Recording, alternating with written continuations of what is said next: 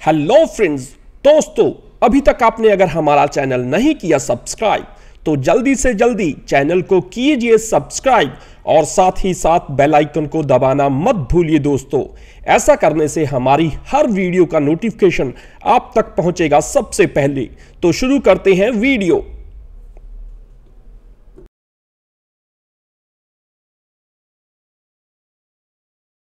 Hello friends, today we are going to review Hollywood movie Fate of the Furious.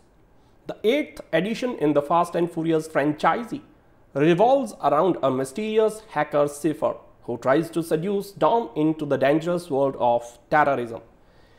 Eight movies into Fast and Furious.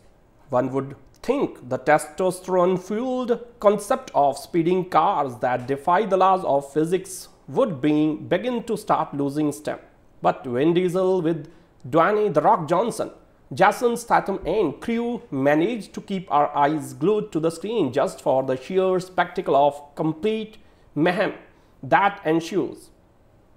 The franchisee does try to do things a bit differently this time around, since Dominic Toretto is virtually untouchable behind the wheel, turning him against his family and leaving his crew for crew to fend for themselves, considerably raises the stakes on a personal front. So with the addition of versatile actress Charlize Theron to the mix as a hacker extraordinary, Diesel even gets to flex some of his acting muscles. Though it's a shame that Theron doesn't trade blows with the boys. She's a heartless, cold and calculating villain who proves to be more than a challenge. The rest of the proceedings are standard alpha male fare, though Jason Statham as Deckard and The Rock as Hobbs prefer to exchange a barrage of verbal insults at each other, saving their fists for other for unfortunate souls.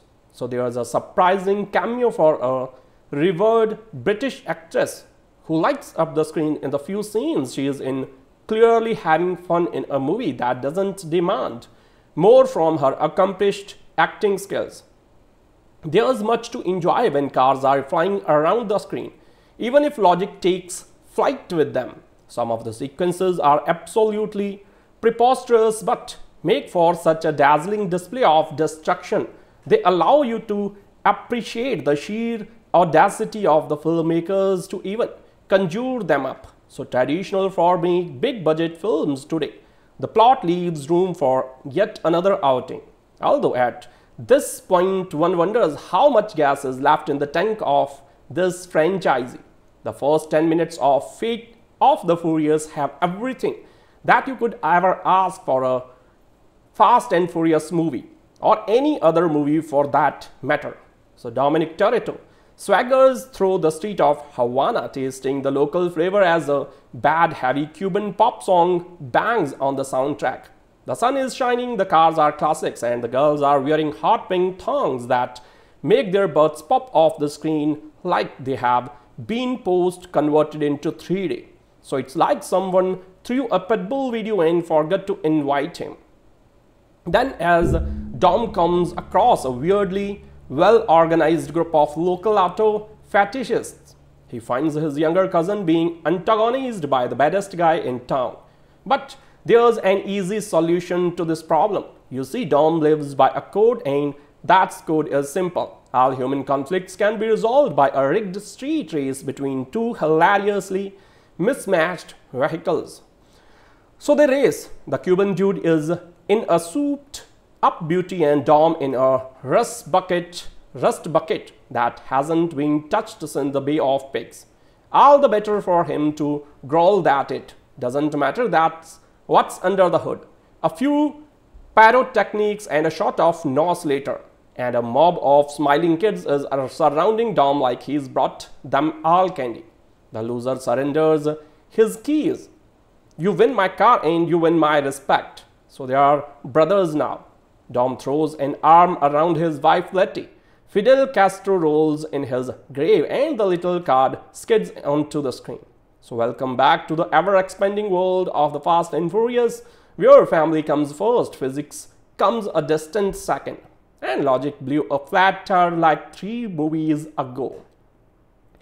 So what started in 2001 as a modestly budgeted Point Break ripoff has exploded into a box office behemoth the size of James Bond and Dom's crew has evolved from a gang of low-rent gearheads into an international unit of government-funded super spies or something.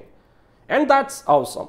Where these movies are going, they, are, they don't need roads or scripts or any pressing reason to exist.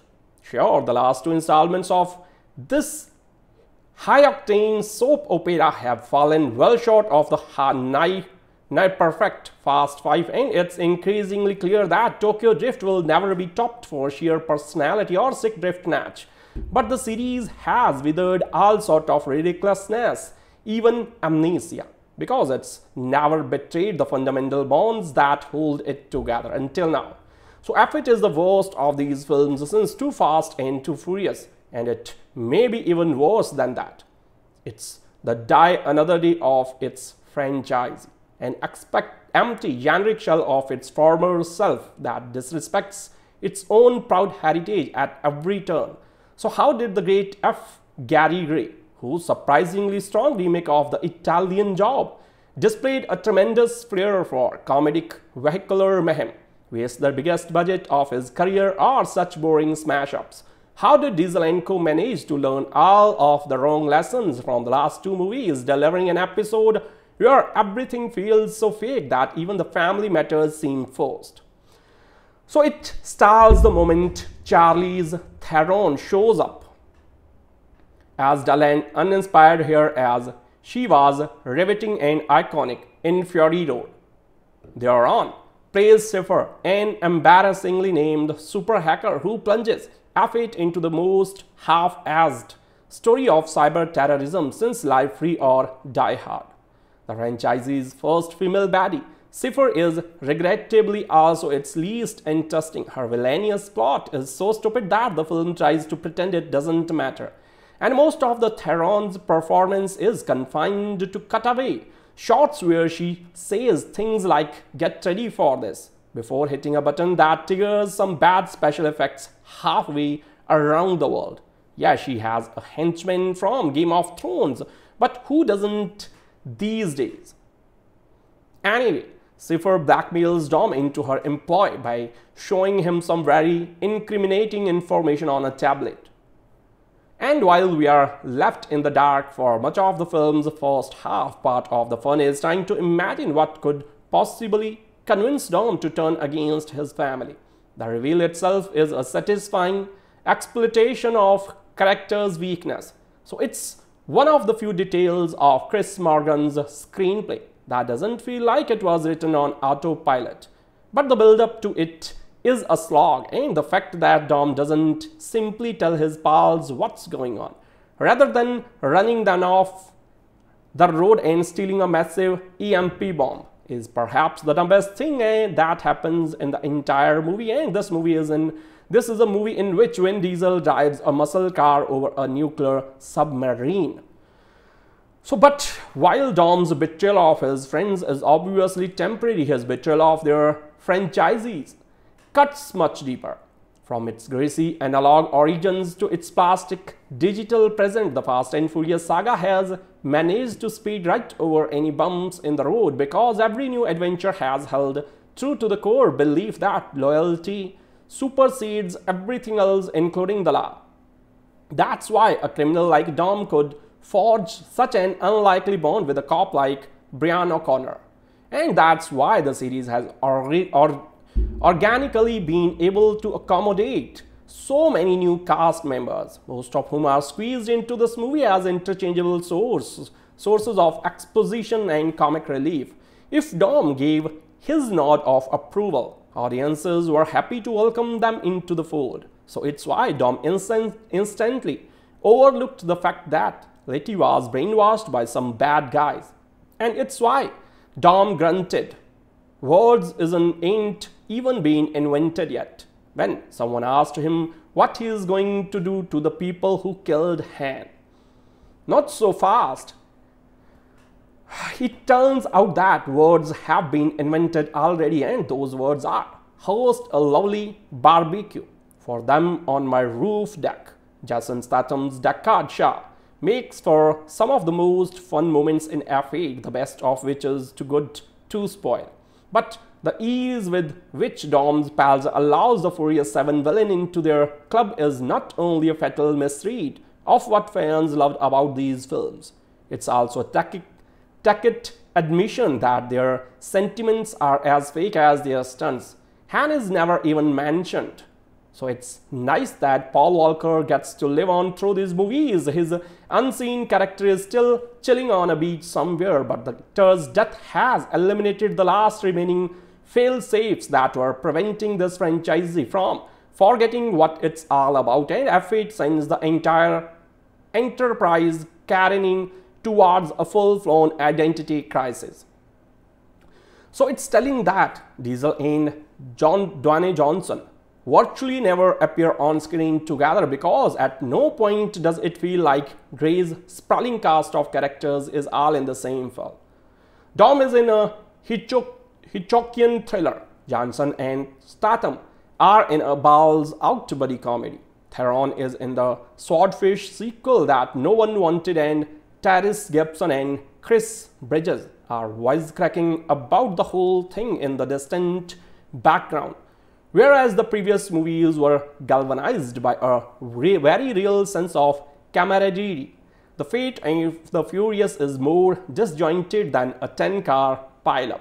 And just about as much fun, this film has officially become dysfunctional.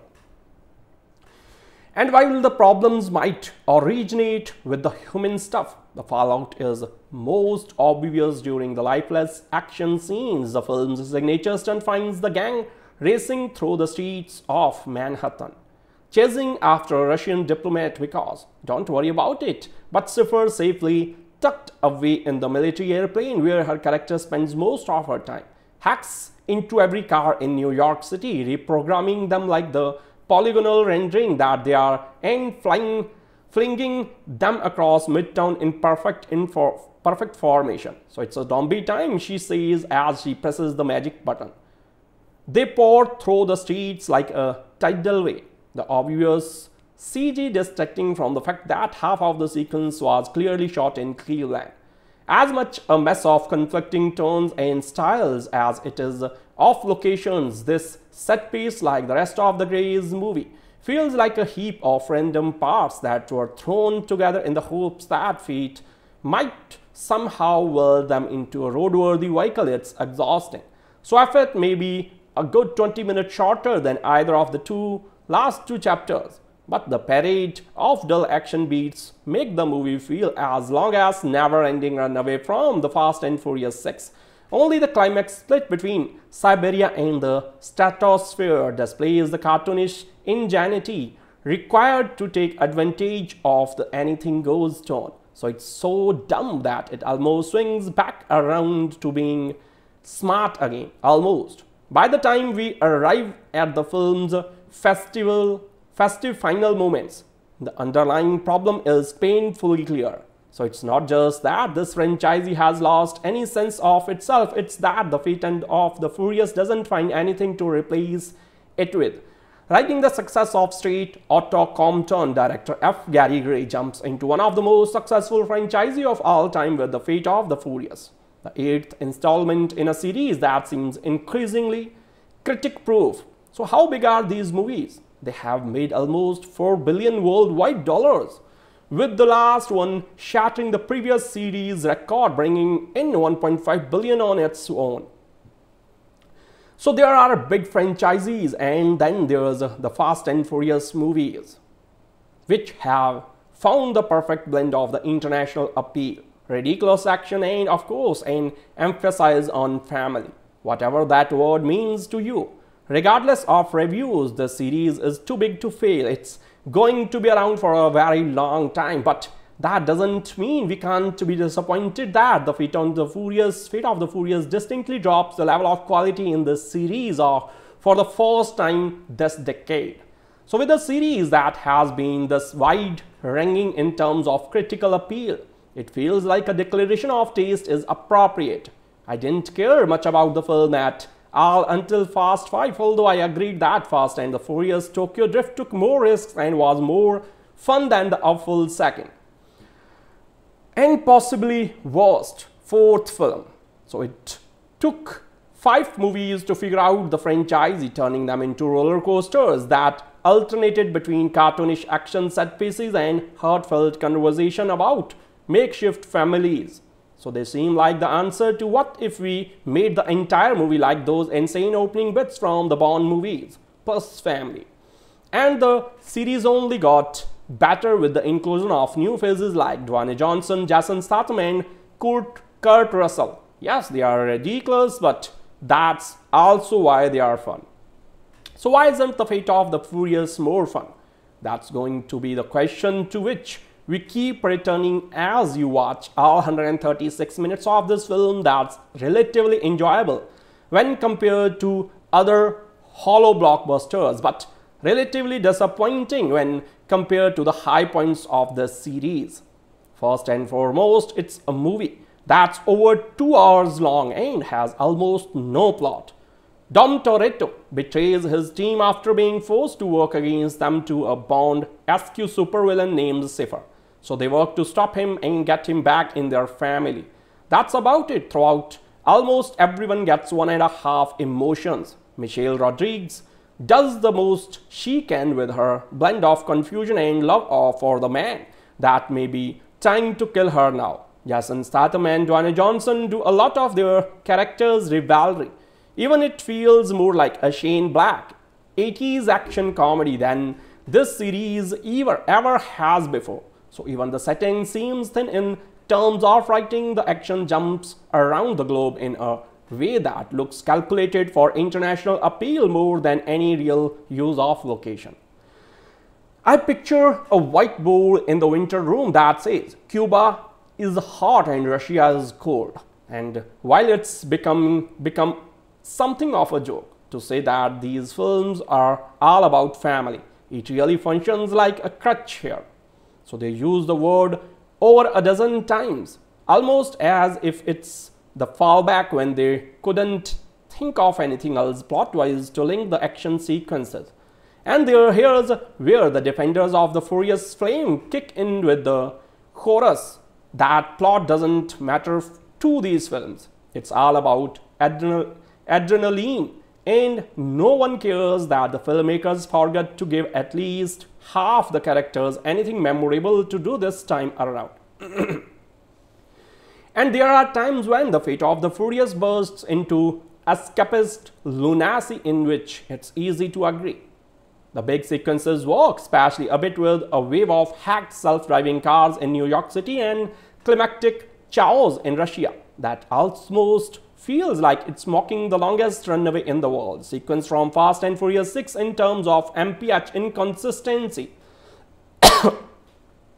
when the Fate and the Furious gives viewers what they are really paying the ticket price to see.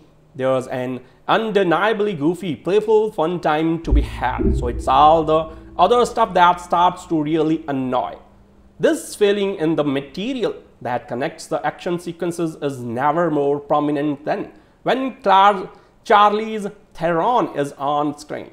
So the fate of the Furious will go down as one of the largest twists of a major talent in a blockbuster film in years. Likely cast because of how much as she kicked in Mad Max Fury Road writer Chris Morgan then neglects to give Theron a single notable action sequence.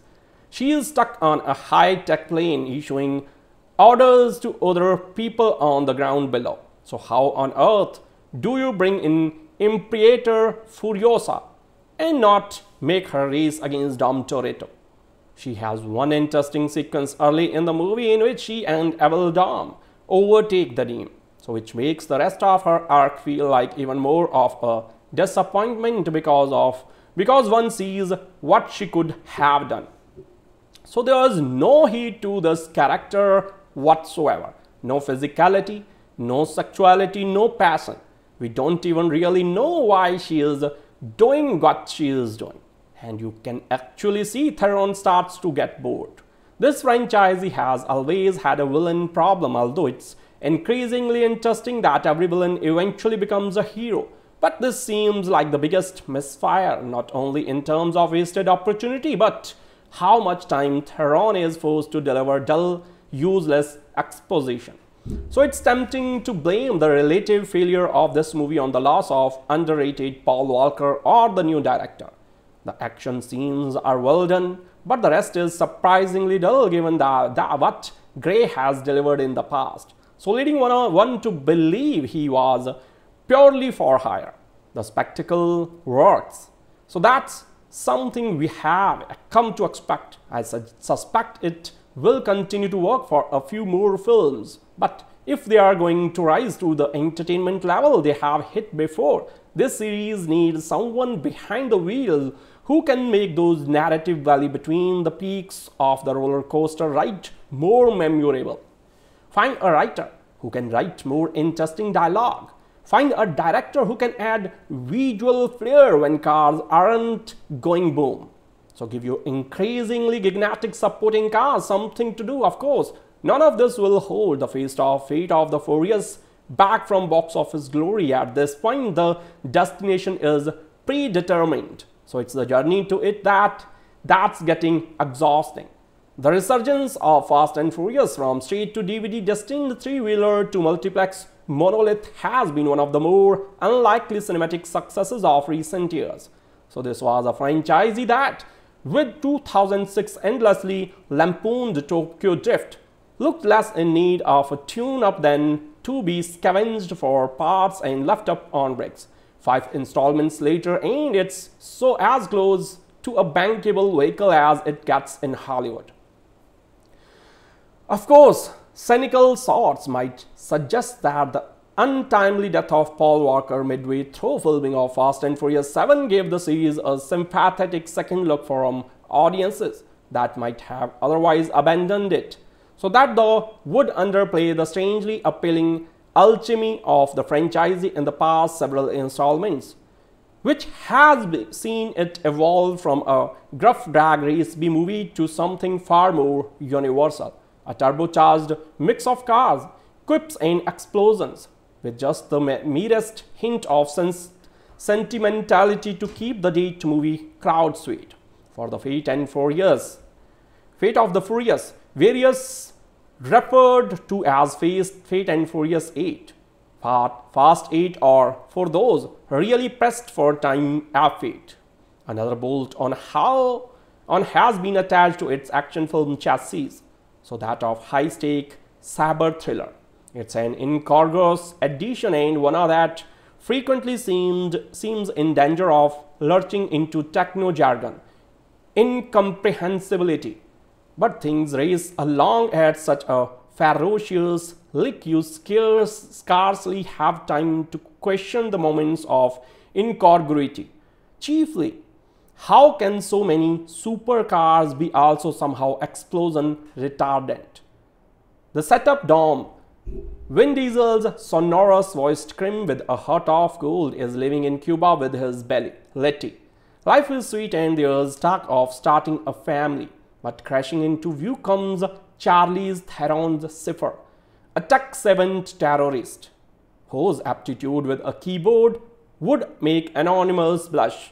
With one swipe of her smartphone, she is blackmailed Dom with some inconvenient details from his past and he is soon helping her steal a series of powerful doohickeys that together might just bring about nuclear destruction. Standing in Dom's way in this endeavor are his old racing pals including Dwayne Johnson's law enforcement officer turned speed racer in in a nice twist Deckard Shaw. Jason Statham's big bad from the last outing now performing the race of role of acid-tongued anti-hero. Statham's inclusion in Fast 8. Smartest move. His snarky one-liners and aptitude for hand-to-hand -hand combat helping to break up the sometimes exhausting in-car sequences. Indeed, there's one glorious goofy action sequence where Shaw battles his way through a plane full of goons that equals anything from the adrenalized many of Statham's crank films. Theron too has great fun with the nefarious Cipher, despite the character often seeming done on the back of a napkin film scene. She does an awful lot with very little, pouring out extended monologues about choice theory and human nature, just like Malcolm Gladwell with access to the nuclear football. And there's an enormously entertaining cameo from Helen Mirren channeling her inner Pat Butcher as the gobby mother of Statham's Shaw. Of course, these brief flourishes of character acting are merely aperitifs to fate's main course to, banter, to batter you into submission with pyrotechnic set pieces. There are three here, of which one a confusingly edited sequence on the Siberian wastes falls somewhat flat.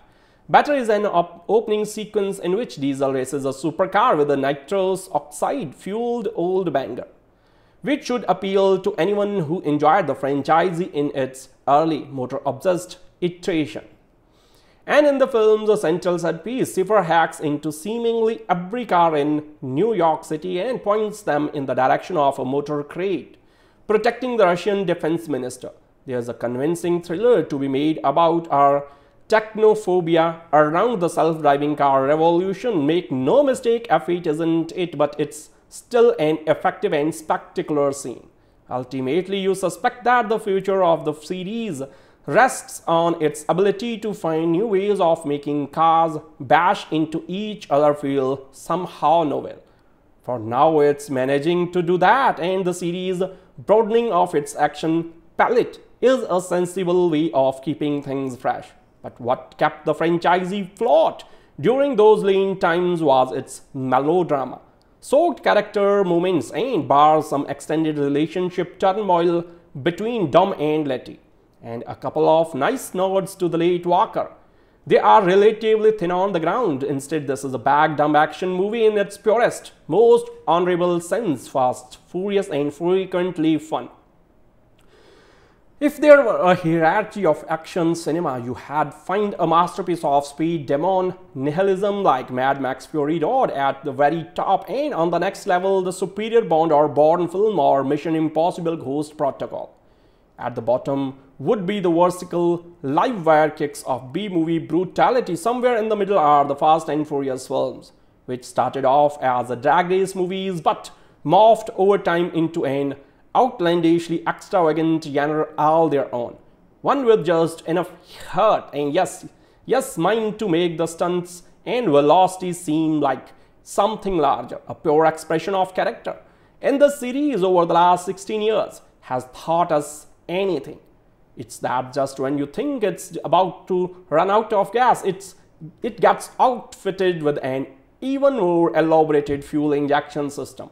And that's never been more true that than it is of the eighth film in the series, The Fate of the Furious, which may just be the most spectacular one yet. So that's because more than any previous entries, it draws elements from every conceivable level of the action cinema hierarchy. So it's a pedal to the metal car chase movie and a global thermonuclear cyber thriller in which a supervillain known as Cipher tries to teach the world's superpowers a deadly lesson. So it's also a suspenseful inter-family drama that takes the gruntingly gruff and loyal teddy bear badass Dominic Toretto and figures out a way to pit him against all of his beloved comrades, including Letty, whom he is finally just married. The movie is also a playfully sadistic bare knuckle rouser with acts like Dwayne Johnson and Jason Statham inflicting more some serious bane bone damage. You had think that merging all those elements would make the fate of the Furious a bit of an overcooked stew. So is the movie top heavy? Only semi-logical and 20 minutes too long, of course, but the director F. Gary Gray, who has shown a pro propensity of our action going back to Set It Off and the Italian job. Now proves to be a high-flying ballistic wizard at it. The fate of the Furious is nothing more than pulp done smart, but scene for scene it's elegant rather than bombastic and it packs a heady escapist wallop The fact that it is the first film in the series to have been made after the death of Paul Walker only gives fans that much more of a really to rally around at box office should be the over the top. The movie opens in Havana, where Dominic and Letty are on their honeymoon and interlude that's interrupted when Dom agrees to race a Cuban hipster bully who tried to make off with his cousin's jalopy. So it's an uneven race with Dom stuck driving the slow pokey jalopy, which he strips down to its engine and outfits with a nitrous oxide canister that will make the can car either go intensively fast or blow up. So it's a one classical old school race in the entire movie and it's a two rouser with Havana making for the most decorous of old world mazes and Dom in the home stretch driving the car in reverse, its engine engulfed in flame. But when a slow-mo overhead shot shows him inching ahead across the finish line, damned if you don't want to first pump. Following that rapid fire appetizer, the film teases out its main course, Cipher in twisty long blonde tresses, introducing herself to Dom and telling him that he is about to go to work for her and against his friends. So when he parks, she shows him something on a cell phone that changes his mind. What's it? What is it? The film keeps us in suspense for a while, but for Dom to cave in and betray those he is closest to, you know it must be serious. Theron proves an ace villain, imperious yet personable, with a leonine cunning and directness. Cipher is some sort of vaguely left-wing power-mad cyber warrior. She doesn't want the usual money or chows. She wants to force the world's nation into accountability. And even her curled finger taps on the keyboard dance with personality. Meanwhile, Mr. Nobody, the jaunty US covert ops shark who leaves no traces, coerces Dom's crew into going back to work for him, a process that involves slapping Johnson's Luke Hobbs in prison all so that he can break out along with Statham Deckard Shaw, the rogue assassin who's his loathed rival. So Johnson and Statham get the hostile jabs flowing. But really, that's the language of this whole crew. The other sparring partners include the peacockish Roman Pierce and the dweebish Tej Parker. As well, the entire team ganging up on nobody's green new second in command, played by Scott Eastwood with a by the book dark decency that grows more winning. The fate of the Furious Fields standard issue when the crew uses the God's Eye Global Scan computer program. Sorry, but it's not going on the stuff in the latest Bond film or the real life NASA.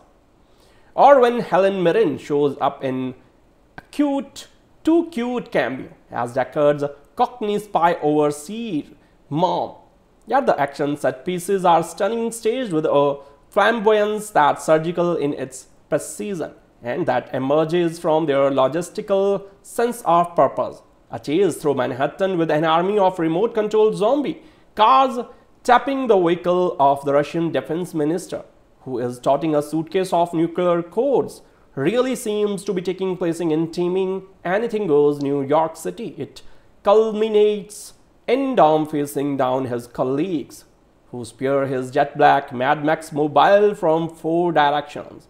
And that still isn't enough to stop the guy. Vin Diesel has become a great action star, not just because of how he delivers those on the nose revenges lines, but because he expresses sheer will, the will to win, to survive, to drive in every muscular grimace.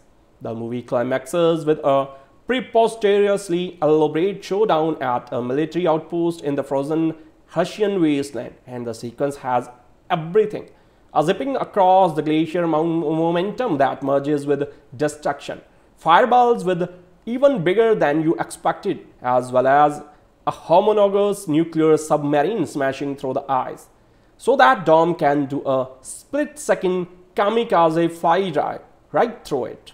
So in the end, I am not sure how I feel about our heroes being made into a pack of world-saving James Bond. But what's clear is that there's probably no turning back. Most franchisee after eight films are feeling a twinge of exhaustion. But this one has achieved the level of success and perpetual kinetic creative energy. So that's a testament to its commercial, cultural, demographic resonance. So it only makes sense that its character must now do important things. Breaking the speed limit never looked so responsible. The eighth edition in the Fast and Furious franchise revolves around a mysterious hacker Cipher who tries to seduce Dom into the dangerous world of terrorism. Eight movies into Fast and Furious. One would think the testosterone fueled concept of speeding cars that defy the laws of physics would being, begin to start losing step.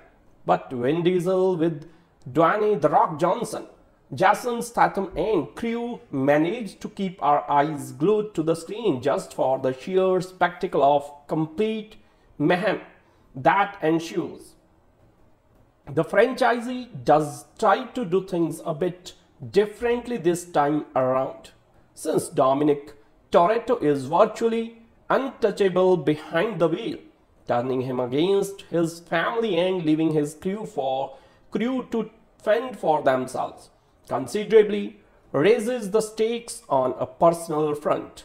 So with the addition of versatile actress Charlize Theron to the mix as a hacker extraordinary, Diesel even gets to flex some of his acting muscles. Though it's a shame that Theron doesn't trade blows with the boys. She's a heartless, cold and calculating villain who proves to be more than a challenge. The rest of the proceedings are standard alpha male fare, though Jason Statham as Deckard and The Rock as Hobbs prefer to exchange a barrage of verbal insults at each other, saving their fists for other for unfortunate souls. So there's a surprising cameo for a revered British actress who lights up the screen in the few scenes she is in, clearly having fun in a movie that doesn't demand more from her accomplished acting skills.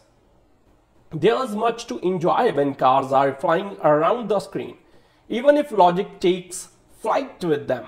Some of the sequences are absolutely preposterous but make for such a dazzling display of destruction. They allow you to appreciate the sheer audacity of the filmmakers to even conjure them up. So traditional for being big budget films today, the plot leaves room for yet another outing. Although at this point, one wonders how much gas is left in the tank of this franchise. The first 10 minutes of Fate of the Furious have everything that you could ever ask for a Fast and Furious movie or any other movie for that matter. So Dominic Toretto swaggers through the street of Havana tasting the local flavor as a bad heavy Cuban pop song bangs on the soundtrack. The sun is shining, the cars are classics, and the girls are wearing hot pink thongs that make their butts pop off the screen like they have been post converted into 3D. So it's like someone threw a Pitbull video and forgot to invite him. Then as Dom comes across a weirdly well-organized group of local auto fetishists he finds his younger cousin being antagonized by the baddest guy in town. But there's an easy solution to this problem. You see, Dom lives by a code and that code is simple. All human conflicts can be resolved by a rigged street race between two hilariously mismatched vehicles. So they race. The Cuban dude is in a souped up beauty and Dom in a rust bucket rust bucket that hasn't been touched since the Bay of Pigs. All the better for him to growl that it doesn't matter that's what's under the hood. A few parrot techniques and a shot of NOS later, and a mob of smiling kids is surrounding Dom like he's brought them all candy. The loser surrenders his keys. You win my car and you win my respect. So they are brothers now. Dom throws an arm around his wife Letty. Fidel Castro rolls in his grave and the little card skids onto the screen. So welcome back to the ever-expanding world of the Fast and Furious, where family comes first, physics comes a distant second, and logic blew a flat tire like three movies ago. So what started in 2001 as a modestly budgeted Point Break ripoff has exploded into a box office behemoth the size of James Bond and Dom's crew has evolved from a gang of Laurent gearheads into an international unit of government-funded super spies or something. And that's awesome. Where these movies are going, they, are, they don't need roads or scripts or any pressing reason to exist. Sure, the last two installments of this high-octane soap opera have fallen well short of the nigh, nigh perfect Fast 5 and it's increasingly clear that Tokyo Drift will never be topped for sheer personality or sick drift match. But the series has withered all sort of ridiculousness, even amnesia, because it's never betrayed the fundamental bonds that hold it together until now. So F8 is the worst of these films since Too Fast and Too Furious and it may be even worse than that. It's the die another day of its franchise and expect empty generic shell of its former self that disrespects its own proud heritage at every turn. So how did the great F. Gary Gray, whose surprisingly strong remake of the Italian Job displayed a tremendous flair for comedic vehicular mayhem, with the biggest budget of his career are such boring smash-ups. How did Diesel & Co manage to learn all of the wrong lessons from the last two movies, delivering an episode where everything feels so fake that even the family matters seem forced? So it stars the moment Charlize Theron shows up as dull and uninspired here as she was riveting and iconic in Fury Road. Theron, plays Cipher, an embarrassingly named super hacker who plunges F8 into the most half-assed story of cyber terrorism since Live Free or Die Hard. The franchise's first female baddie Cipher is regrettably also its least interesting. Her villainous plot is so stupid that the film tries to pretend it doesn't matter.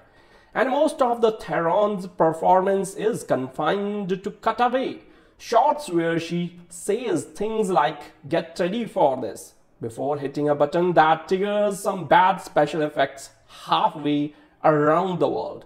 Yeah, she has a henchman from Game of Thrones, but who doesn't these days.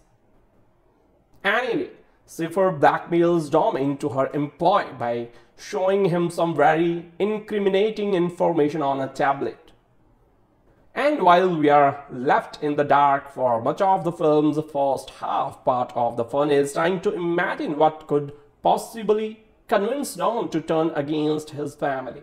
The reveal itself is a satisfying exploitation of character's weakness so it's one of the few details of Chris Morgan's screenplay that doesn't feel like it was written on autopilot. But the build-up to it is a slog and the fact that Dom doesn't simply tell his pals what's going on.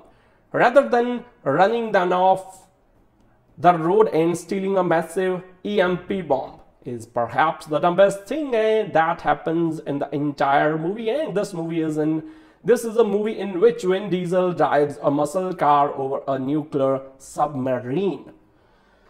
So, but while Dom's betrayal of his friends is obviously temporary, his betrayal of their franchisees cuts much deeper.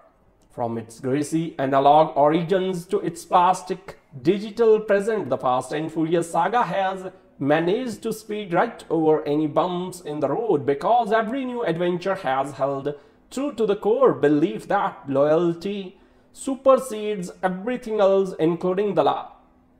That's why a criminal like Dom could forge such an unlikely bond with a cop like Brian O'Connor. And that's why the series has or or organically been able to accommodate so many new cast members, most of whom are squeezed into this movie as interchangeable sources, sources of exposition and comic relief. If Dom gave his nod of approval, audiences were happy to welcome them into the fold. So it's why Dom instant, instantly overlooked the fact that Letty was brainwashed by some bad guys. And it's why Dom grunted.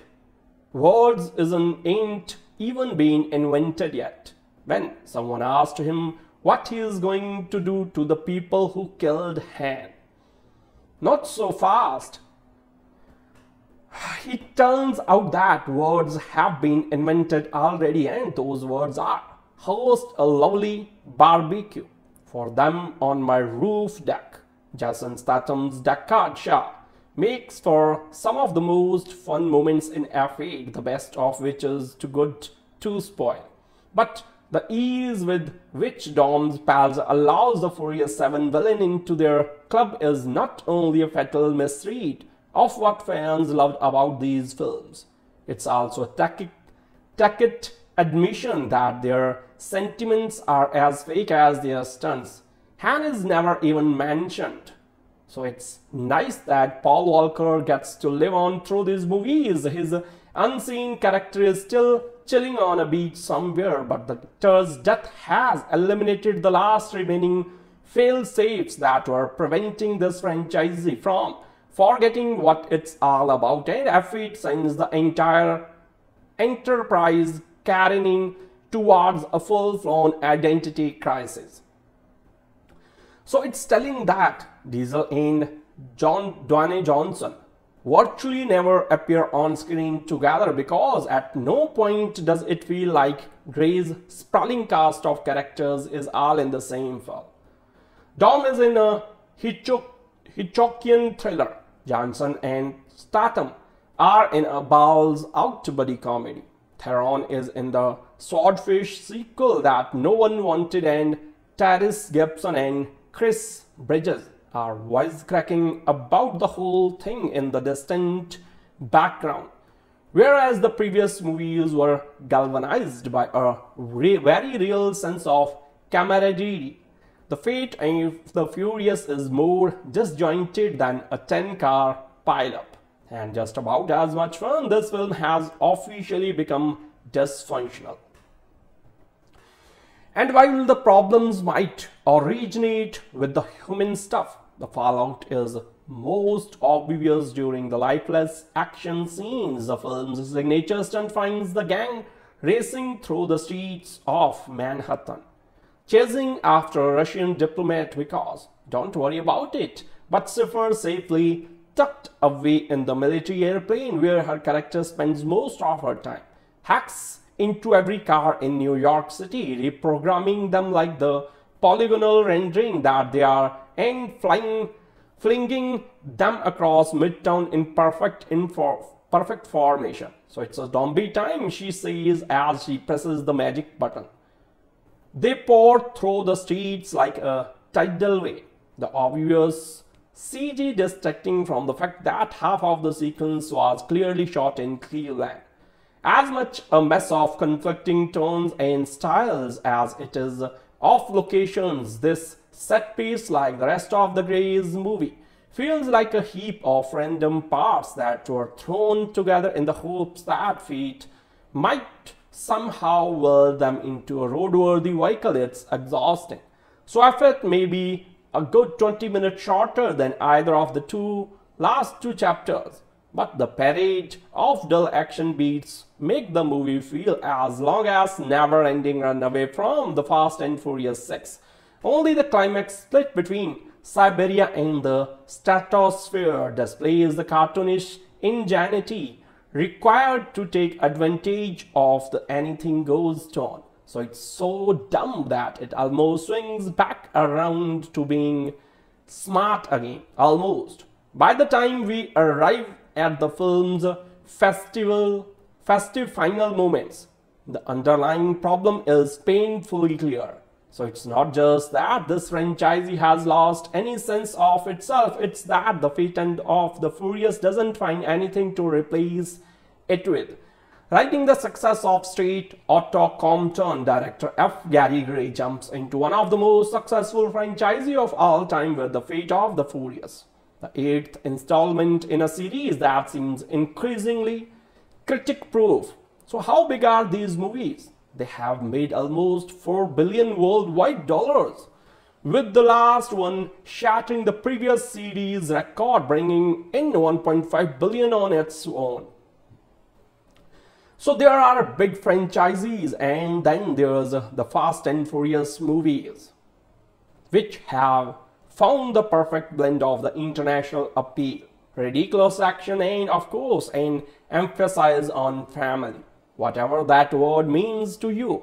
Regardless of reviews, the series is too big to fail. It's going to be around for a very long time, but that doesn't mean we can't be disappointed that the Fate of the Furious, Fate of the Furious distinctly drops the level of quality in the series of for the first time this decade.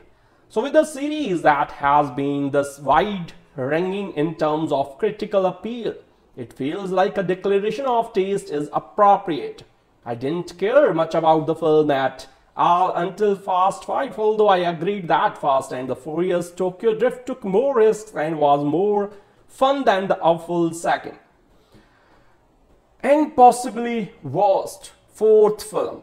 So it took five movies to figure out the franchise, turning them into roller coasters that alternated between cartoonish action set pieces and heartfelt conversation about makeshift families. So they seem like the answer to what if we made the entire movie like those insane opening bits from the Bond movies, plus family. And the series only got better with the inclusion of new faces like Dwayne Johnson, Jason Statham and Kurt, Kurt Russell. Yes, they are ridiculous, but that's also why they are fun. So why isn't the fate of the Furious more fun? That's going to be the question to which we keep returning as you watch all 136 minutes of this film that's relatively enjoyable when compared to other hollow blockbusters but relatively disappointing when compared to the high points of the series. First and foremost, it's a movie that's over two hours long and has almost no plot. Dom Toretto betrays his team after being forced to work against them to a Bond-esque supervillain named Cipher. So they work to stop him and get him back in their family.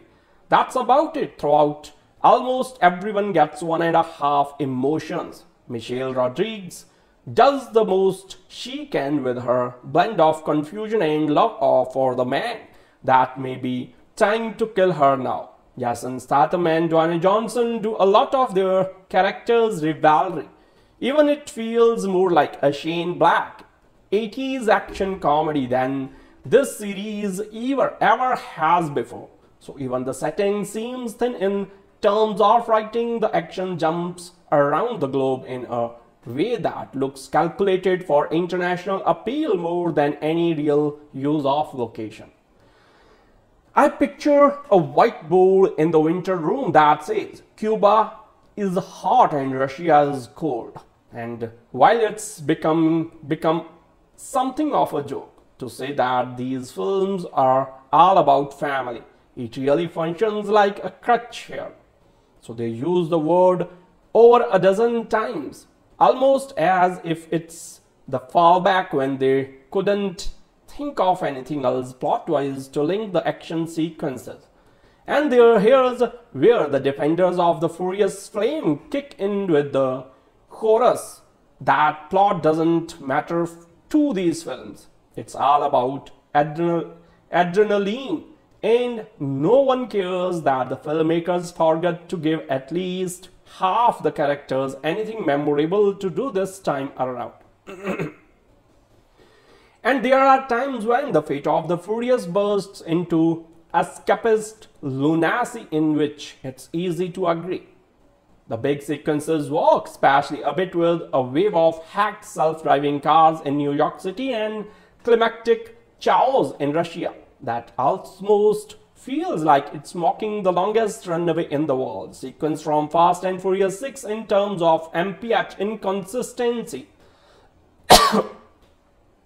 When the Fate and the Furious gives viewers what they are really paying the ticket price to see. There's an undeniably goofy, playful, fun time to be had. So it's all the other stuff that starts to really annoy.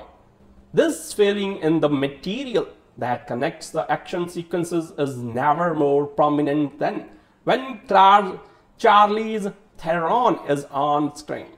So the fate of the Furious will go down as one of the largest twists of a major talent in a blockbuster film in years. Likely cast because of how much as she kicked in Mad Max Fury Road writer Chris Morgan then neglects to give Theron a single notable action sequence.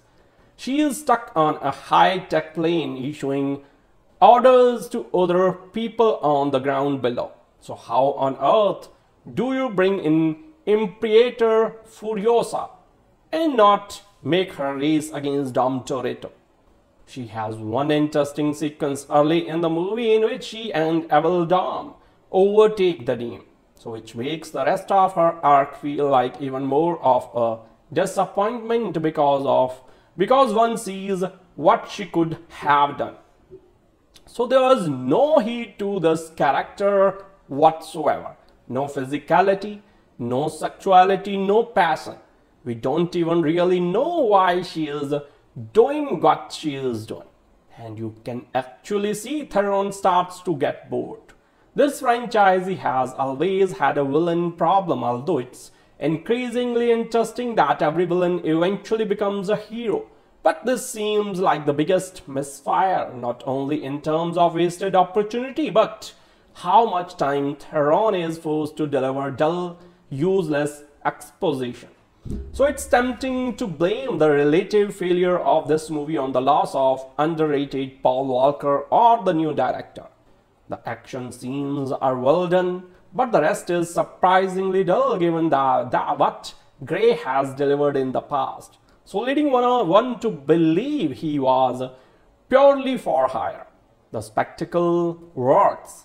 So that's something we have come to expect. I suspect it will continue to work for a few more films. But if they are going to rise to the entertainment level they have hit before, this series needs someone behind the wheel who can make those narrative valley between the peaks of the roller coaster ride more memorable.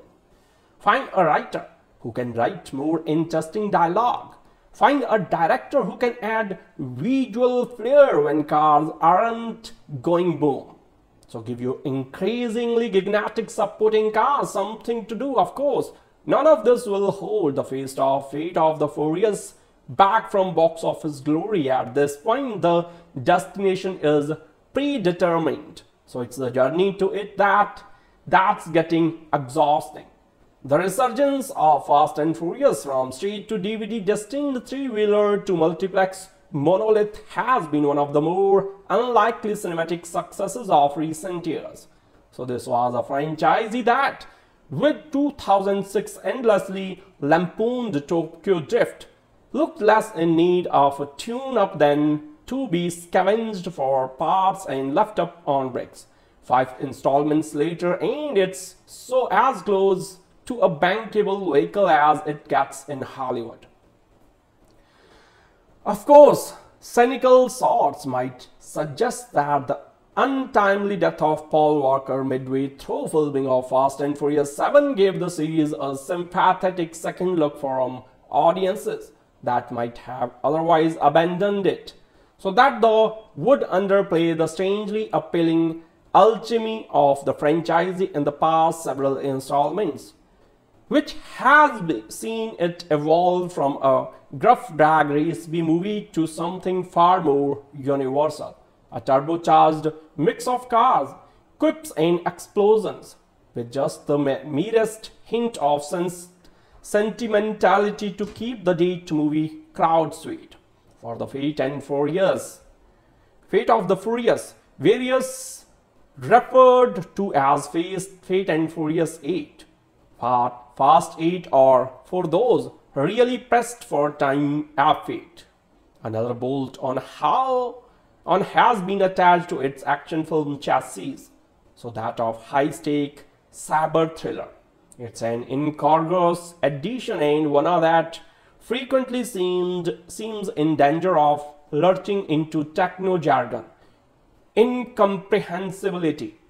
But things race along at such a ferocious lick you scarce, scarcely have time to question the moments of incongruity.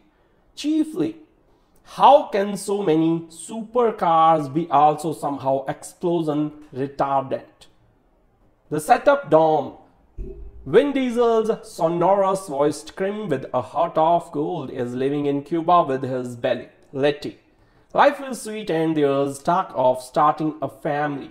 But crashing into view comes Charlize Theron's Cipher, a tech-savant terrorist whose aptitude with a keyboard would make Anonymous blush. With one swipe of her smartphone, she is blackmailed Dom with some inconvenient details from his past and he is soon helping her steal a series of powerful doohickeys that together might just bring about nuclear destruction. Standing in Dom's way in this endeavor are his old racing pals including Dwayne Johnson's law enforcement officer turned speed racer in in a nice twist Shaw.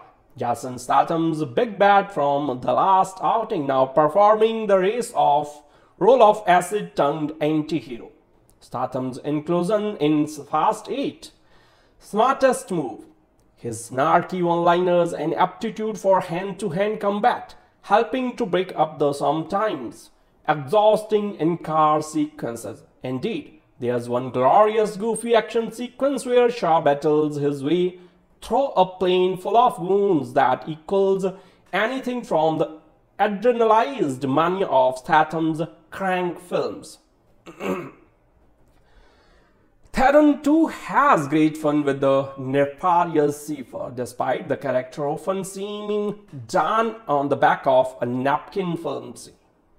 She does an awful lot with very little, pouring out extended monologues about choice theory and human nature just like Malcolm Gladwell with access to the nuclear football. And there's an enormously entertaining cameo from Helen Mirren, channeling her inner Pat Butcher as the gobby mother of Statham's Shaw.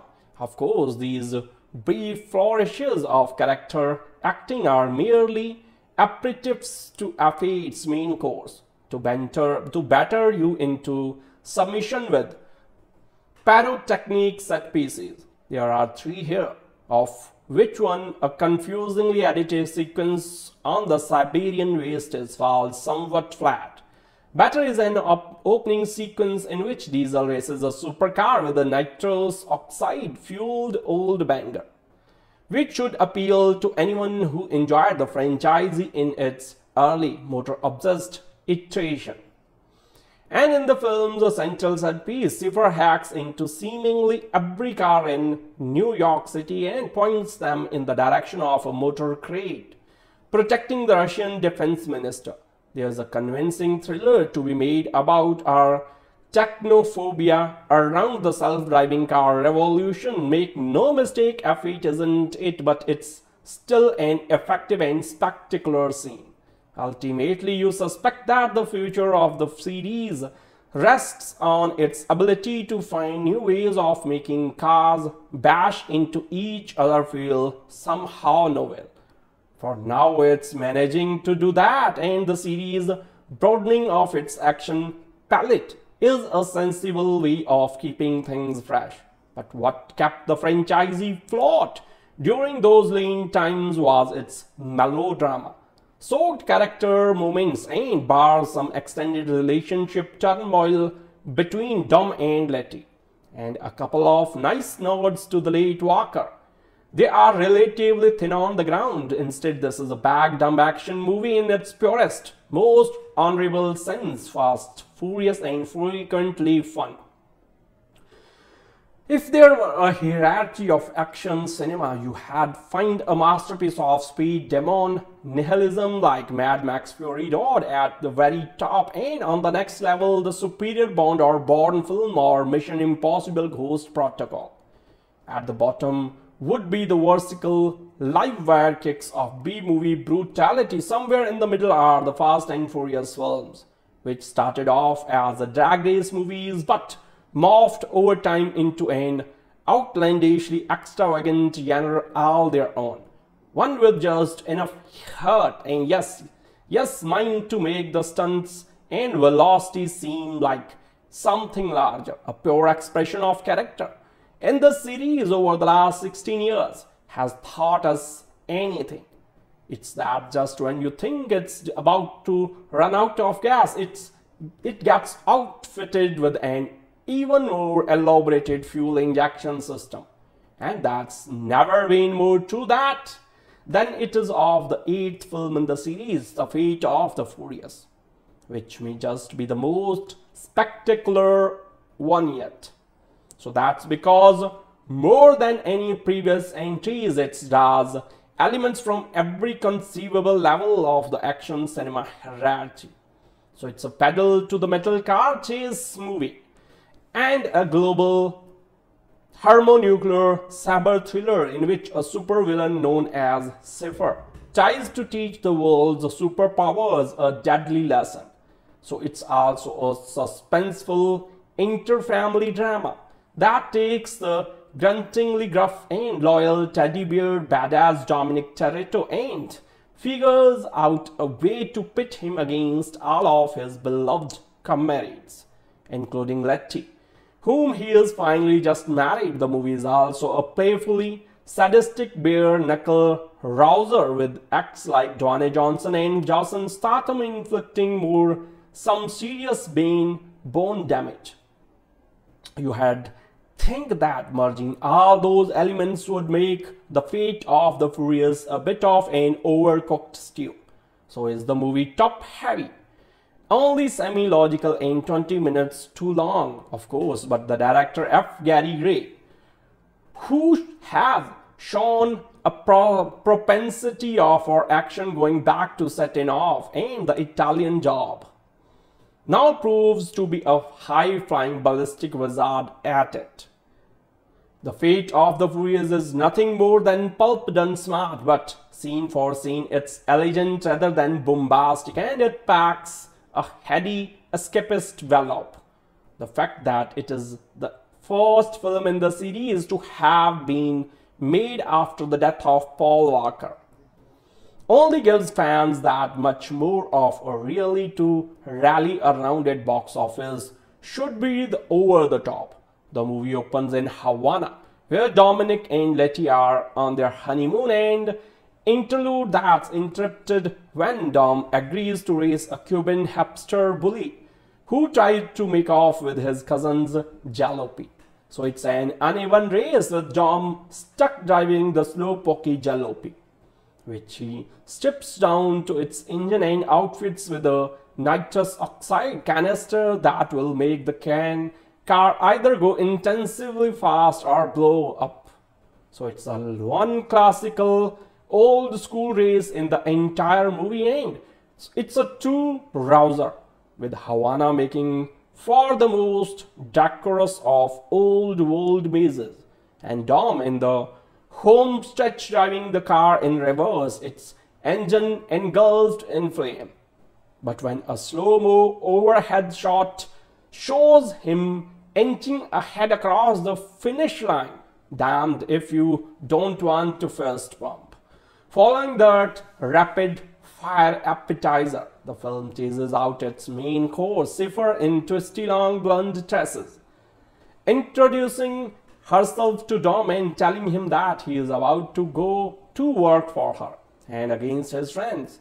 So when he parks, she shows him something on a cell phone that changes his mind. What's it? What is it? The film keeps us in suspense for a while, but for Dom to cave in and betray those he is closest to. You know it must be serious. Theron proves an ace villain, imperious yet personable, with a leonine cunning and directness. Cipher is some sort of vaguely left-wing power mad cyber warrior. She doesn't want the usual money or chows. She wants to force the world's nation into accountability.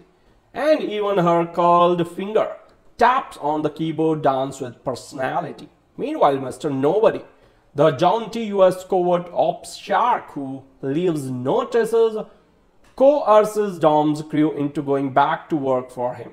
A process that involves slapping Johnson's Luke Hobbs in prison all so that he can break out along with Statham Deckard Shaw, the rogue assassin, who's his loathed rival. So Johnson and Statham get the hostile jabs flowing. But really, that's the language of this whole crew. The other sparring partners include the peacockish Roman Pierce and the dweebish Tej Parker as well the entire team ganging up on nobody's green new second in command played by Scott Eastwood with a by the book dark decency that grows more winning. The fate of the Furious feels standard issue when the crew uses the God's Eye Global Scan computer program. Sorry, but it's not going on the stuff in the latest Bond film or the real life NASA or when Helen Mirren shows up in a cute, too cute cameo as Deckard's Cockney spy overseer mom. Yet the action set pieces are stunning staged with a flamboyance that's surgical in its precision and that emerges from their logistical sense of purpose. A chase through Manhattan with an army of remote controlled zombie cars tapping the vehicle of the Russian defense minister, who is toting a suitcase of nuclear codes, really seems to be taking place in teeming anything goes New York City. It culminates in Dom facing down his colleagues, who spear his jet black Mad Max mobile from four directions. And that still isn't enough to stop the guy. Vin Diesel has become a great action star, not just because of how he delivers those on the nose revenges lines, but because he expresses sheer will, the will to win, to survive, to drive in every muscular grimace. The movie climaxes with a preposterously elaborate showdown at a military outpost in the frozen Russian wasteland, and the sequence has everything. A zipping across the glacier momentum that merges with destruction. Fireballs with even bigger than you expected, as well as a homologous nuclear submarine smashing through the ice. So that Dom can do a split second kamikaze drive right through it. So in the end, I am not sure how I feel about our heroes being made into a pack of world-saving James Bond. But what's clear is that there's probably no turning back most franchisee after eight films are feeling a twinge of exhaustion. But this one has achieved the level of success and perpetual kinetic creative energy. So that's a testament to its commercial, cultural, demographic resonance. So it only makes sense that its character must now do important things. Breaking the speed limit never looked so responsible. The eighth edition in the Fast and Furious franchise revolves around a mysterious hacker Cipher who tries to seduce Dom into the dangerous world of terrorism. Eight movies into Fast and Furious. One would think the testosterone-fueled concept of speeding cars that defy the laws of physics would begin to start losing steam. But Vin Diesel with Dwayne The Rock Johnson Jason Statham and crew managed to keep our eyes glued to the screen just for the sheer spectacle of complete mayhem that ensues. The franchisee does try to do things a bit differently this time around, since Dominic Toretto is virtually untouchable behind the wheel, turning him against his family and leaving his crew for crew to fend for themselves, considerably raises the stakes on a personal front. So with the addition of versatile actress Charlize Theron to the mix as a hacker extraordinary, Diesel even gets to flex some of his acting muscles. Though it's a shame that Theron doesn't trade blows with the boys. She's a heartless, cold and calculating villain who proves to be more than a challenge. The rest of the proceedings are standard alpha male fare, though Jason Statham as Deckard and The Rock as Hobbs prefer to exchange a barrage of verbal insults at each other, saving their fists for other for unfortunate souls. So there's a surprising cameo for a revered British actress who lights up the screen in the few scenes she is in, clearly having fun in a movie that doesn't demand more from her accomplished acting skills. There's much to enjoy when cars are flying around the screen, even if logic takes flight with them. Some of the sequences are absolutely preposterous but make for such a dazzling display of destruction. They allow you to appreciate the sheer audacity of the filmmakers to even conjure them up. So traditional for me, big budget films today, the plot leaves room for yet another outing. Although at this point one wonders how much gas is left in the tank of this franchise. The first 10 minutes of Fate of the Furious have everything that you could ever ask for a Fast and Furious movie or any other movie for that matter. So Dominic Toretto swaggers through the street of Havana tasting the local flavor as a bad heavy Cuban pop song bangs on the soundtrack.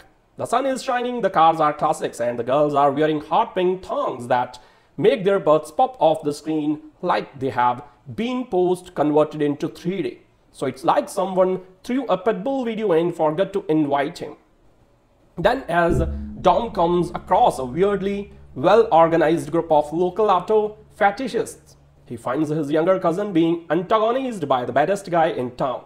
But there's an easy solution to this problem. You see, Dom lives by a code and that code is simple. All human conflicts can be resolved by a rigged street race between two hilariously mismatched vehicles.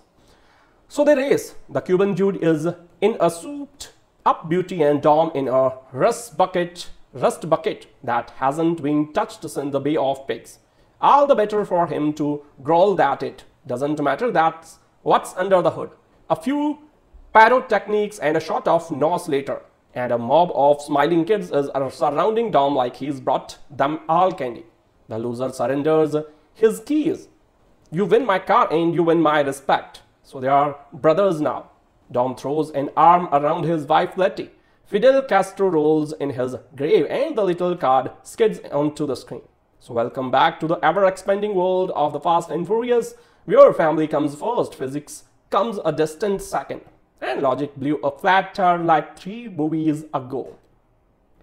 So what started in 2001 as a modestly budgeted Point Break ripoff has exploded into a box office behemoth the size of James Bond and Dom's crew has evolved from a gang of Laurent gearheads into an international unit of government-funded super spies or something.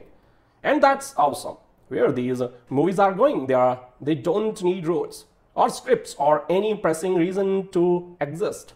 Sure, the last two installments of this high-octane soap opera have fallen well short of the high not perfect Fast 5 and it's increasingly clear that Tokyo Drift will never be topped for sheer personality or sick drift match. But the series has withered all sort of ridiculousness, even amnesia, because it's never betrayed the fundamental bonds that hold it together until now. So F8 is the worst of these films since Too Fast and Too Furious, and it may be even worse than that. It's the die another day of its franchise and expect empty generic shell of its former self that disrespects its own proud heritage at every turn. So how did the great F. Gary Gray, whose surprisingly strong remake of the Italian Job displayed a tremendous flair for comedic vehicular mayhem, waste the biggest budget of his career or such boring smash-ups? How did Diesel & Co manage to learn all of the wrong lessons from the last two movies, delivering an episode where everything feels so fake that even the family matters seem forced. So it stalls the moment Charlize Theron shows up. as dull and uninspired here as she was riveting and iconic in Fury Road. Theron, praised Cipher, an embarrassingly named super hacker who plunges F8 into the most half-assed story of cyber terrorism since Live Free or Die Hard. The franchise's first female baddie, Cipher is regrettably also its least interesting. Her villainous plot is so stupid that the film tries to pretend it doesn't matter. And most of the Theron's performance is confined to cutaway shots where she says things like, get ready for this, before hitting a button that triggers some bad special effects halfway around the world. Yeah, she has a henchman from Game of Thrones, but who doesn't these days? Anyway, Cipher blackmails Dom into her employ by showing him some very incriminating information on a tablet. And while we are left in the dark for much of the film's first half, part of the fun is trying to imagine what could possibly convince Dom to turn against his family. The reveal itself is a satisfying exploitation of character's weakness. So it's one of the few details of Chris Morgan's screenplay that doesn't feel like it was written on autopilot. But the build-up to it is a slog, and the fact that Dom doesn't simply tell his pals what's going on, rather than running them off the road and stealing a massive EMP bomb is perhaps the dumbest thing eh, that happens in the entire movie. And this movie is in this is a movie in which Vin Diesel drives a muscle car over a nuclear submarine.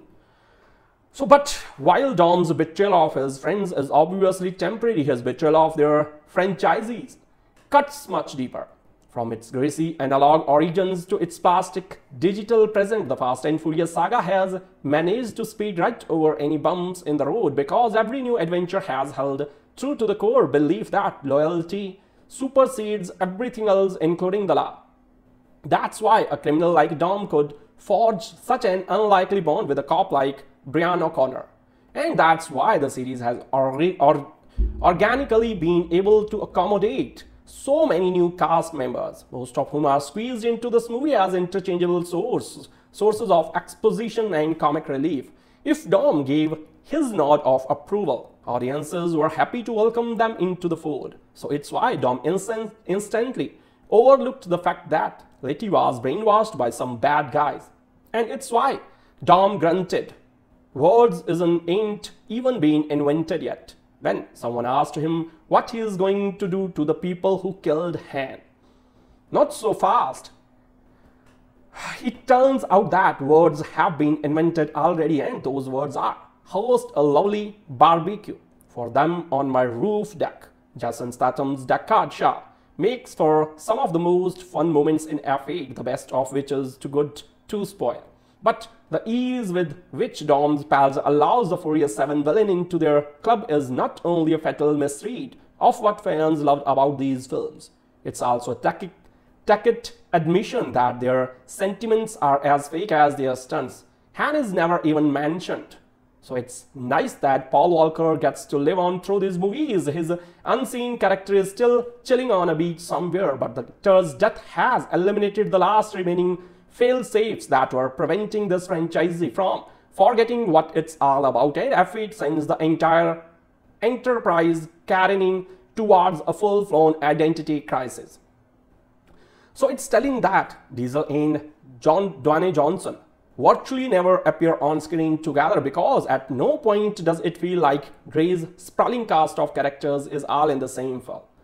Dom is in a Hitchcock Hitchcockian thriller. Johnson and Statham are in a balls out to buddy comedy. Theron is in the Swordfish sequel that no one wanted and Tyrese Gibson and Chris Bridges are wisecracking about the whole thing in the distant background.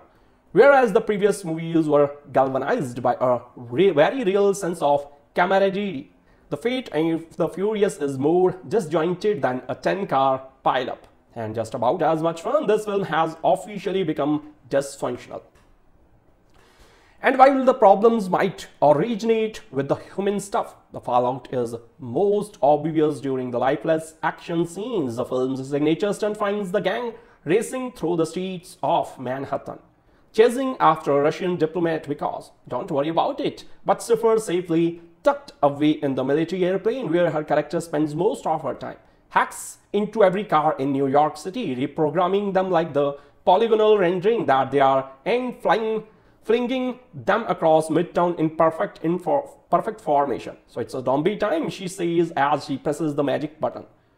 They pour through the streets like a tidal wave. The obvious CG distracting from the fact that half of the sequence was clearly shot in Cleveland as much a mess of conflicting tones and styles as it is off locations. This set piece, like the rest of the Gray's movie, feels like a heap of random parts that were thrown together in the hopes that feet might somehow whirl them into a roadworthy vehicle. It's exhausting. So I felt maybe a good 20 minutes shorter than either of the two last two chapters.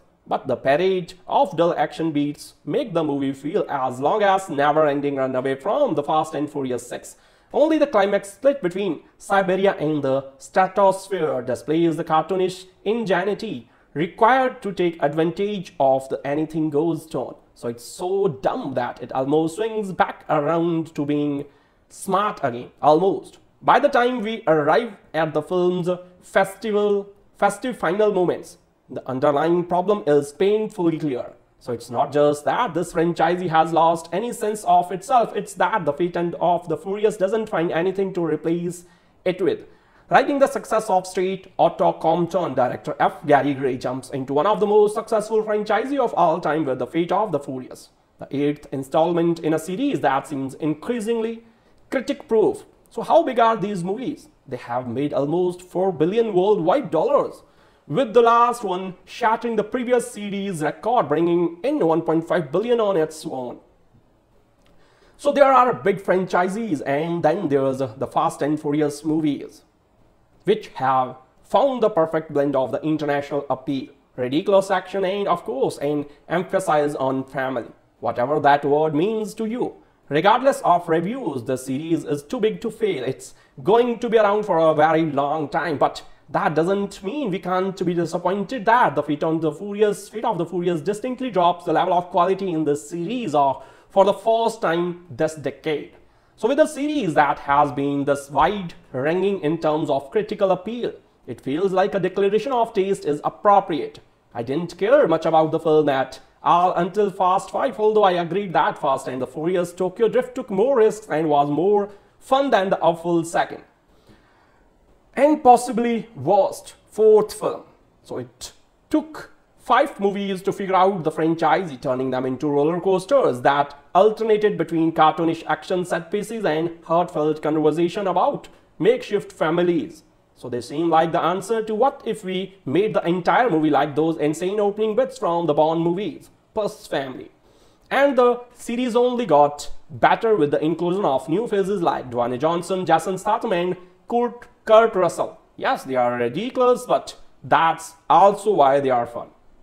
So why isn't the fate of the Furious more fun? That's going to be the question to which we keep returning as you watch all 136 minutes of this film that's relatively enjoyable when compared to other hollow blockbusters, but relatively disappointing when compared to the high points of the series. First and foremost, it's a movie that's over two hours long and has almost no plot. Dom Toretto betrays his team after being forced to work against them to a Bond-esque supervillain named Cipher.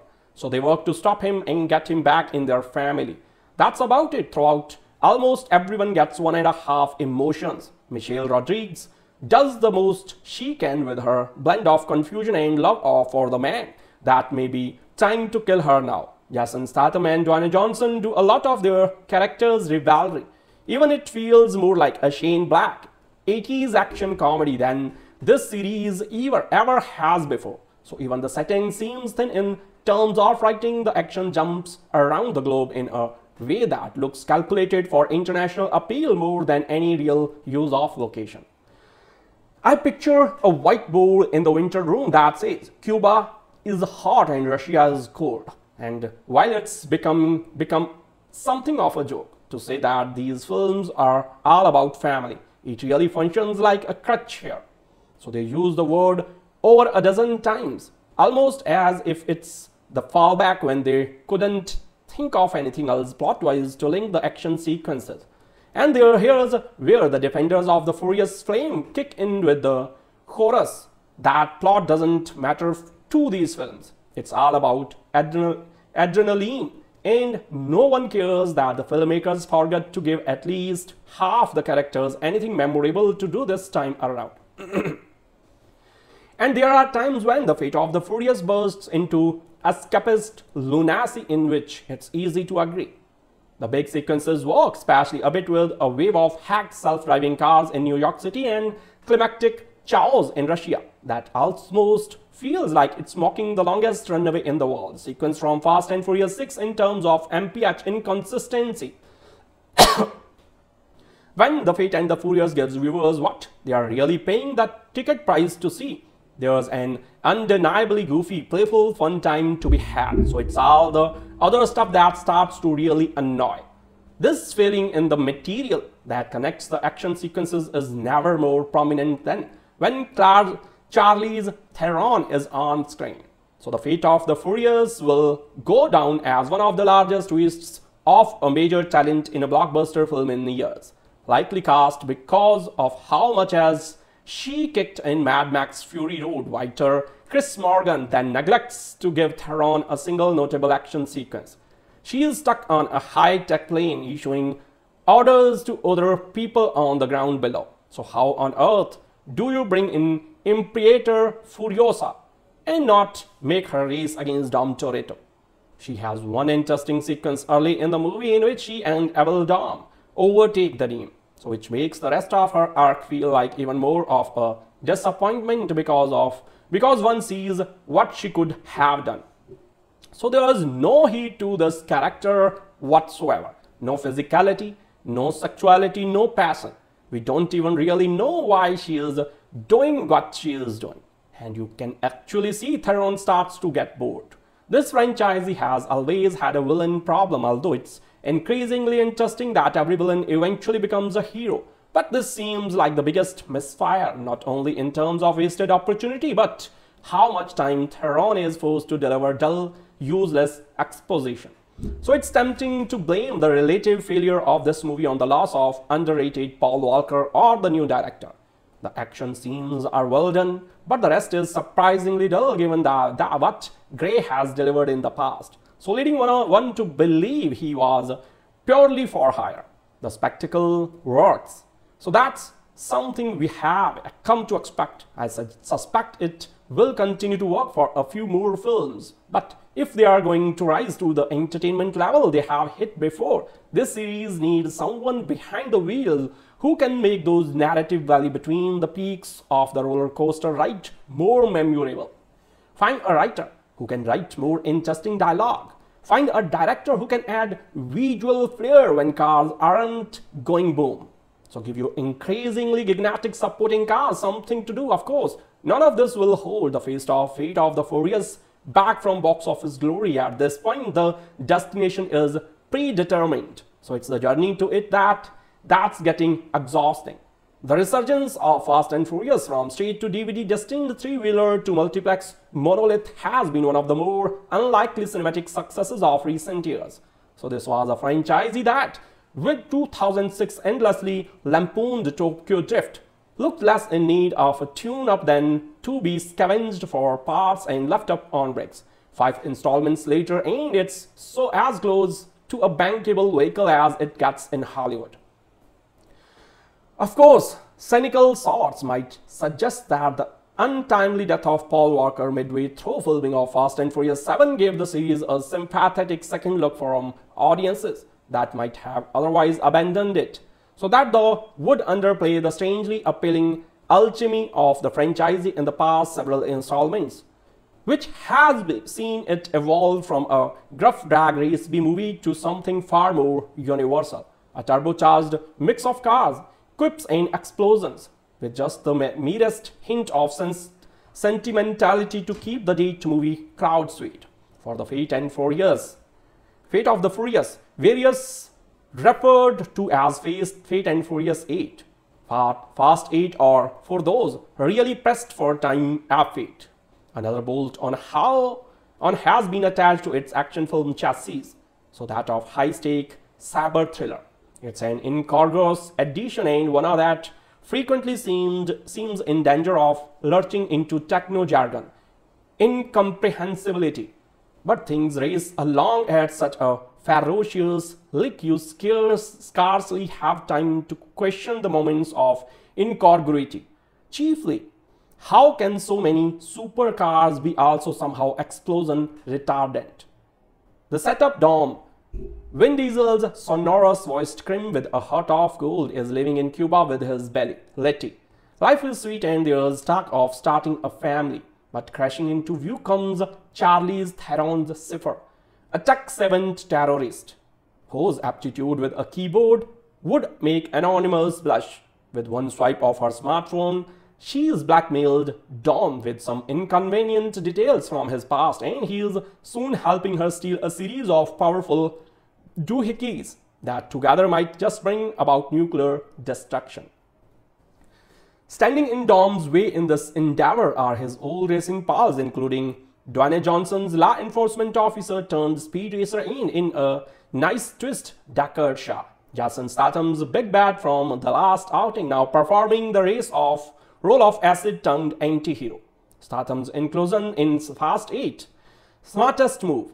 His snarky one-liners and aptitude for hand-to-hand -hand combat, helping to break up the sometimes exhausting in-car sequences. Indeed, there's one glorious goofy action sequence where Shaw battles his way through a plane full of goons that equals anything from the adrenalized mania of Statham's crank films. Theron too has great fun with the nefarious Cipher, despite the character often seeming done on the back of a napkin film scene.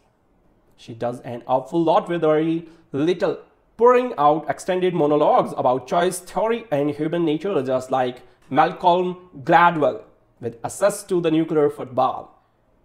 And there's an enormously entertaining cameo from Helen Mirren, channeling her inner Pat Butcher as the gobby mother of Statham's Shaw.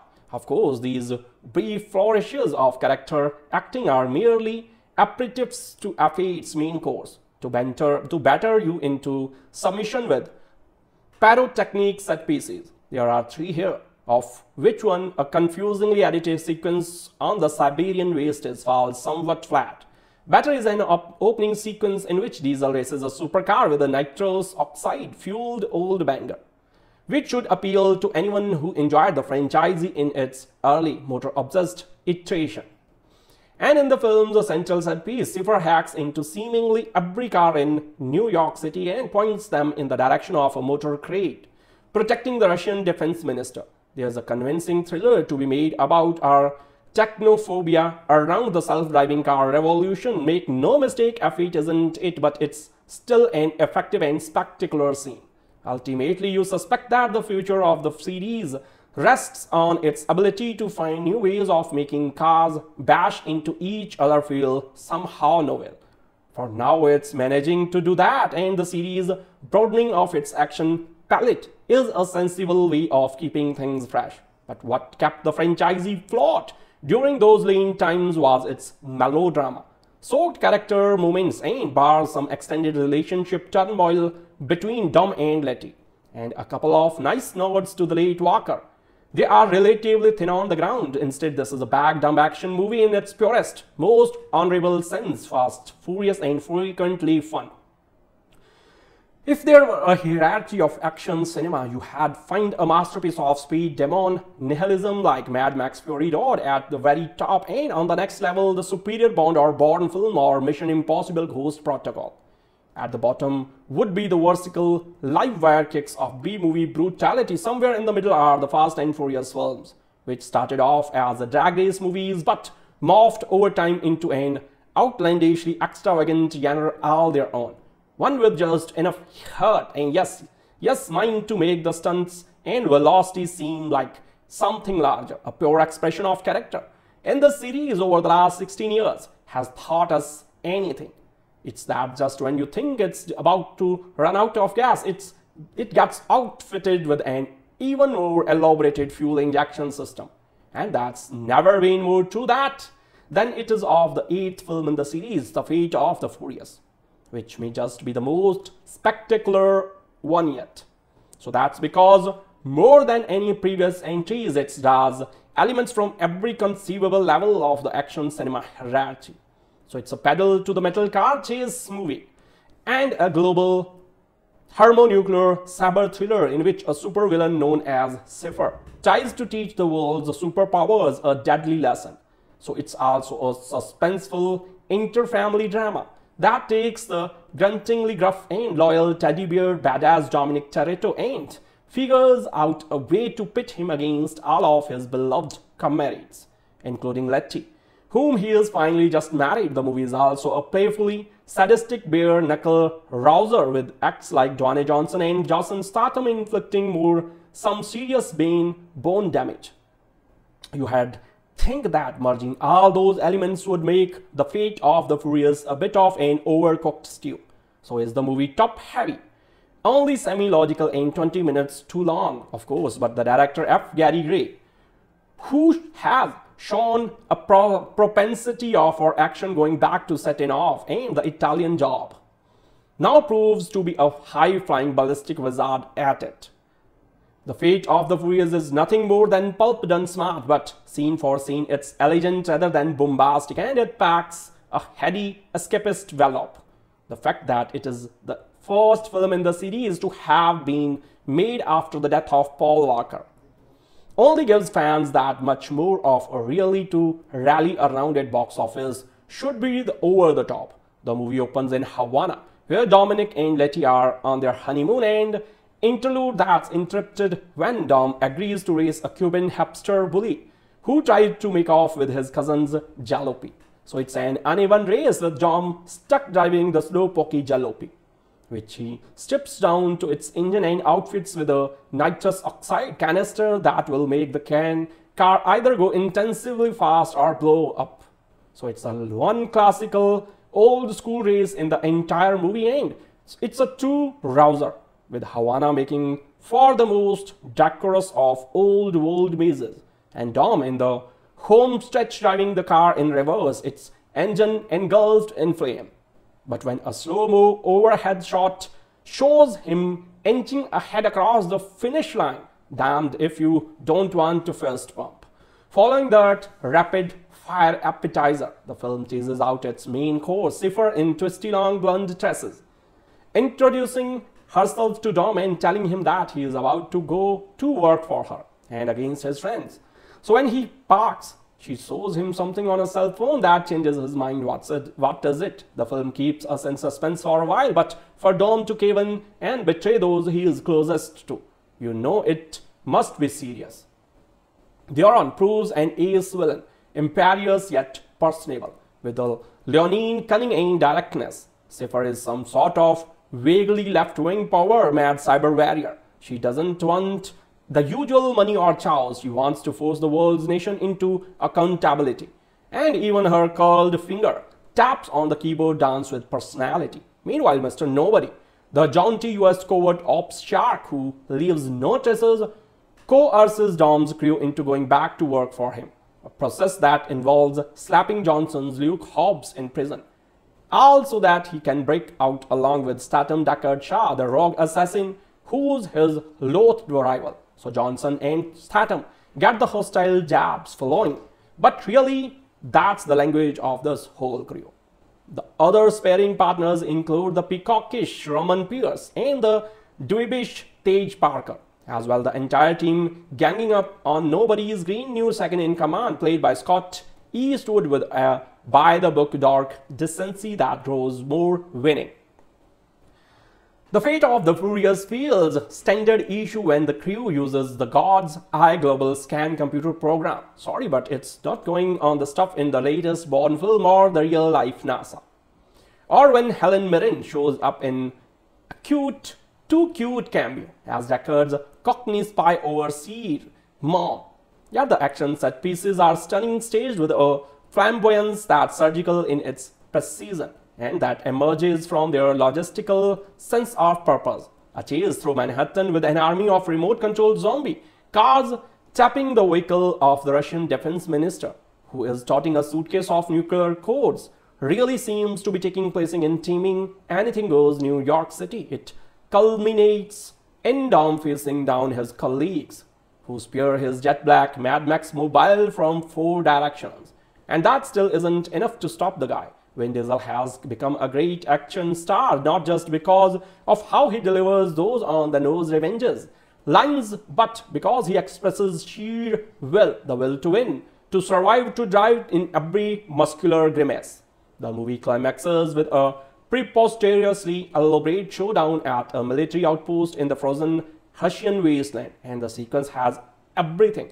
A zipping across the glacier momentum that merges with destruction, fireballs with even bigger than you expected, as well as a homologous nuclear submarine smashing through the ice, so that Dom can do a split-second kamikaze fly drive right through it. So in the end, I am not sure how I feel about our heroes being made into a pack of world-saving James Bond. But what's clear is that there's probably no turning back. Most franchisee, after 8 films, are feeling a twinge of exhaustion.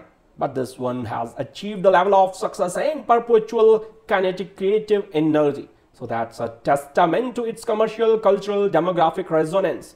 So it only makes sense that its character must now do important things. Breaking the speed limit never looked so responsible.